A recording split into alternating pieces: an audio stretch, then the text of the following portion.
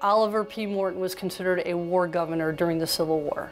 A war governor is a governor that is helping out the president, um, Abraham Lincoln at the time, and he was kind of his go-to man in, in, the, in the world of politics, where he tried to rally the troops around him, tried to campaign for him, and trying to find supplies to help the soldiers and the troops during the war.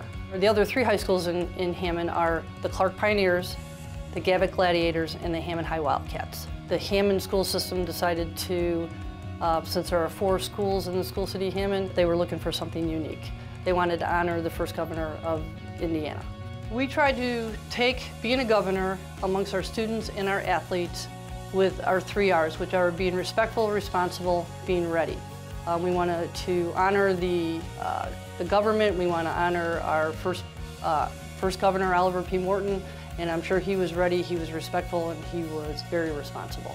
So that's what we expect out of our athletes and our students as well.